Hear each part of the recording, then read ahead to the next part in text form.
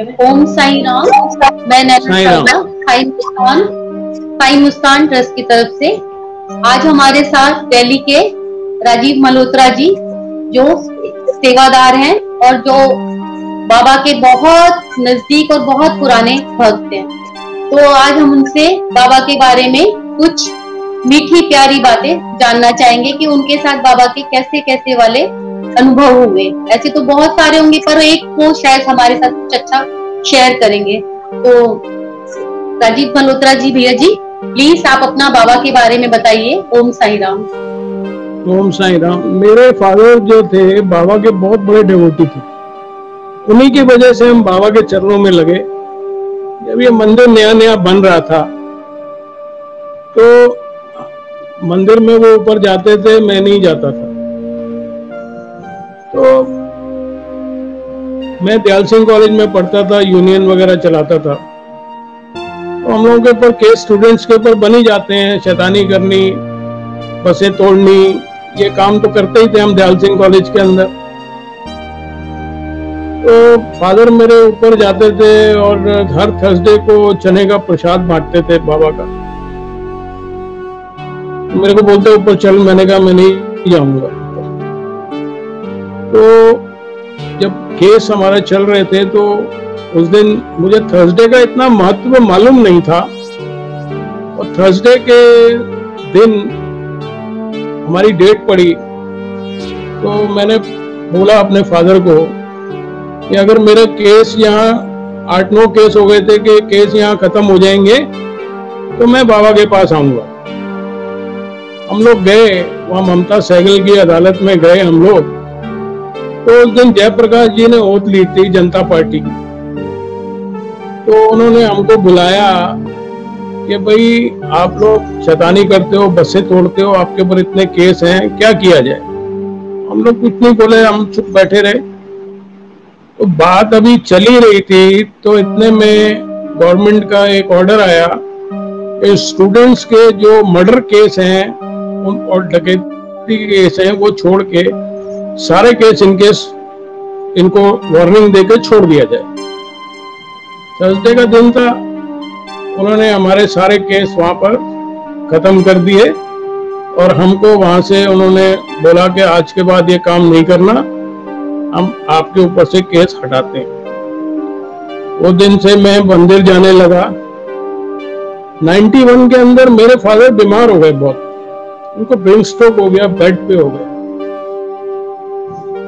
Bed पे हो गए तो रोज मंदिर जाता था, रोज बाबा से प्रार्थना करता था, इनको ठीक कर दे। एक दिन सुबह मॉर्निंग में उनके बेड सोल हो गया तो मैंने डॉक्टर को बुलाया, मैंने कहा डॉक्टर साहब, इनके बेड सोल हो गया, इनको ठीक करो आप तो ये तो बहुत तड़पते हैं, बहुत परेशान होते हैं। तो डॉक्टर साहब बोलते हैं कि भाई, इनकी चमड़ी तो बहुत नरम हो गई है और ये एक बार ही इनकी बैंडेड हो जाए, पट्टी हो जाए, वही बहुत है। उस दिन मेरी इनकी कज़न की बेटी की या किसी का कुछ था तो हम लोगों ने जाना था कहीं पर। तो मैं उस टाइम पे दो टाइम मंदिर जाता था। मैं शाम को वहाँ मंदिर गया तो मैं बहुत बाबा के आगे रोया, गिड़गिड़ाया। मैंने कहा, बाबा, आप इनको अब जाने दो, क्योंकि बहुत तीन साल से पे हैं और बहुत परेशानी में है। इनको अब आप जाने दो। जो दुख तकलीफ़ है मुझे दे दो, मैं सहने के लिए तैयार हूँ। मैं छह बजे घर पे आया, कमरे में दीवार की तरफ़ मुँह करके लेटे हुए थे। और मैं हमेशा माँगता था, ठीक हो जाए, ठीक हो जाए, ठीक हो जाए। लेकिन उस दिन मैंने मांगा, मैंने कहा, ये अब बहुत तकलीफ़ में है, बहुत तड़पते हैं, रोते हैं। अब इनको आप बाबा उठाई हो तो ज़्यादा अच्छा है। मैं मंदिर में रो रहा हूँ, लोग मुझे देख रहे हैं, मैं बाबा से बातें कर रहा हूँ, बहुत रोई जा रहा हूँ, रोई जा रहा हूँ, रोई जा रहा हूँ। आया मैं छह बजे घर पे आया, मैंने सर पे उनके हाथ रखा। तो उन्होंने ऐसे दीवार से वो दूसरी तरफ़ करके मुझे देखा, उनके आँसू निकल रहे थे उन्होंने मेरा हाथ दबाया बड़ी ज़ोर की। मैं सिर पे हाथ फेरने के लिए चला गया। मैं सिर पे हाथ फेरा और मैं चला गया। अपने रूम में गया मैं कपड़े बदलने के लिए। तो उतनी देर में मेरी मदर उनको फ़ीड कराने के लिए छह, साढ़े छह बजे आती थी। एक सर्वेंट था हमारा, वो उठाता था, उनको पकड़ता था और वो कस्टर्ड वगैरह जो भी देना होता था उनको देते थे। मैं कमरे में गया, कपड़े पहन ही रहा था तो मेरी मदर चिल्लाई कि तेरे पापा चले गए। अब आप इससे ज़्यादा मैं क्या बताऊँ आपको कि बाबा बाबा हमारी इतनी सुनते हैं, हम बाबा बाबा का कैसे बता नहीं सकते कि बाबा हमारे लिए क्या है। और मेरे फादर, उस दिन मैंने मांगा, छह बजे मांगा, साढ़े छह बजे वो चले भी गए। इससे ज़्यादा आप क्या बोल सकते हो इससे ज़्यादा मैं कुछ नहीं बोल सकता। मेरे पास कोई शब्द नहीं है। एक और कहानी मैं आपको बताता हूँ। हम शिरडी गए। हम शिरडी गए, हम गोवा गए। गोवा से हमने शिरडी आना था।